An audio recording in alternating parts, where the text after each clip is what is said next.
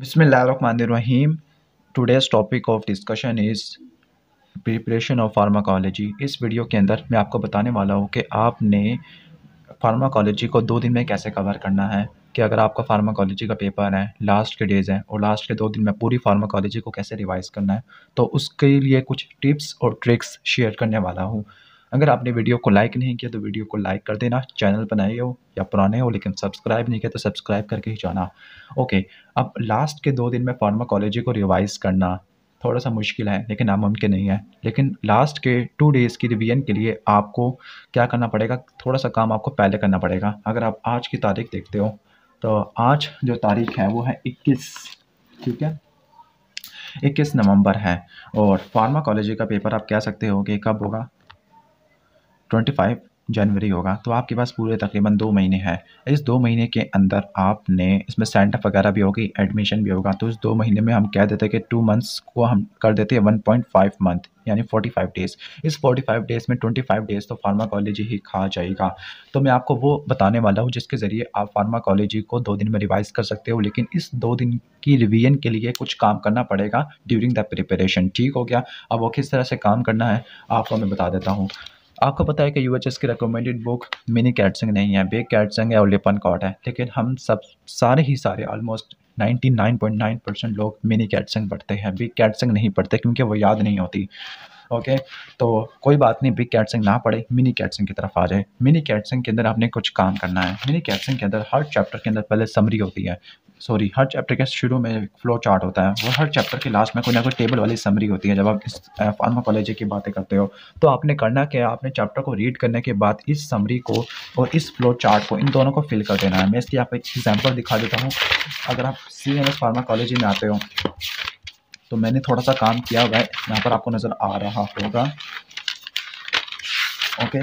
जैसे अगर मैं एंटी सीजर वाला चैप्टर ओपन करता हूँ, ये चैप्टर ऐसा है जो बहुत सारे मेजोरिटी ऑफ़ द स्टूडेंट को याद नहीं होता। तो मैंने क्या काम किया हुआ है? मैंने इस टेबल के ऊपर इस चैप्टर के तमाम कंटेंट को उठा के यहाँ पे लिख दिया है। अब इससे होगा क्या? इससे ये होगा कि नेक्स्ट टाइम इस चैप्टर को पढ़ना पड़ेगा रिविजन करनी पड़ेगी तो मैं सिर्फ़ इस टेबल को और इस समरी को देखूँगा और जो एक्स्ट्रा पॉइंट्स हो गए उनको यहाँ पर लिख लूँगा। सिर्फ़ तीन चीज़ों को मैं देख लूँगा, इस इस फ्लो चार्ट को, इस समरी को और जो एक्स्ट्रा पॉइंट्स होते हैं नोट्स के फॉर्म में।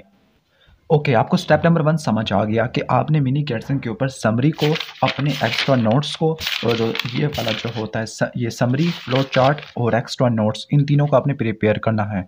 इसके बाद फिर इसकी मिनी कैटसन लिपन कॉड और बिग कैटसन इन तीनों के एक रिव्यू बुक है। उसको बोलते हैं M B M pharmacology and therapeutics पहले बता रहा हूँ ये कोई प्रमोशन वीडियो नहीं है। मैंने उससे पैसे नहीं लिए, कि मैं इसको प्रमोट करूँ।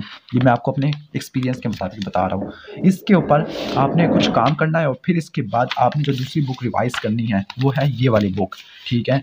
इस बुक के अंदर आपने फ्लो चार्ट मिल जाएगा आपको और जब आपको ये वाला मटेरियल तैयार होगा कैटसंग वाला तो आपको ये बुक रिवाइज करने में बहुत ज़्यादा टाइम नहीं लगेगा, थोड़ा सा टाइम लगेगा। बहुत जल्दी आप किताब को रिवाइज कर लोगे। और सबसे लास्ट स्टेप आपके पास फार्माकोलॉजी का चार्ट होगा, जिसके अंदर हमारी पूरी बॉडी की ड्रग्स का मेंशन किया हुआ है।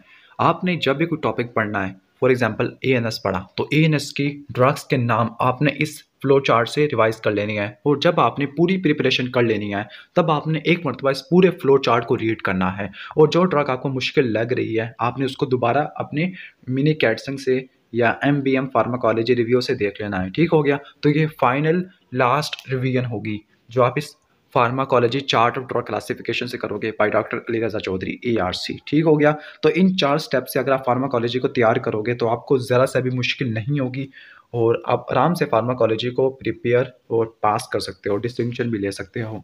अगर आपको वीडियो अच्छी लगी हो तो वीडियो को लाइक कर देना चैनल बनाई हो तो सब्सक्राइब कर देना। Thanks for watching this video Allah हाफिज़।